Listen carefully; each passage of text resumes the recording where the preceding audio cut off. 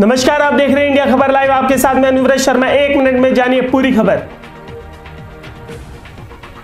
मध्य प्रदेश के ग्वालियर में आज एक नवंबर को मध्य प्रदेश स्थापना दिवस मनाया गया। एफ़ ग्राउंड पर कार्यक्रम को आयोजित किया गया था। इस अवसर पर राजा मानसिंह तोमर, संगीत एवं कला विश्वविद्यालय की छात्राओं ने कथक नृत्य को प्रस्तुत किया।